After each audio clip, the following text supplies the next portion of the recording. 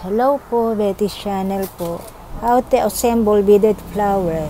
Ito po ang topic natin ngayon, ang paggawa ng flower na made of beads, tulle, ribbon. Ituturo ko po sa inyo kung paano gawin ang flower na ito para kung gagawa po tayo ng mga bonnet, shoes o kahit anong project na kailangan ng flowers ay makapag-customize po tayo ng sariling atin.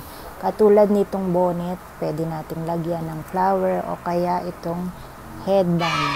Kaya please watch and learn.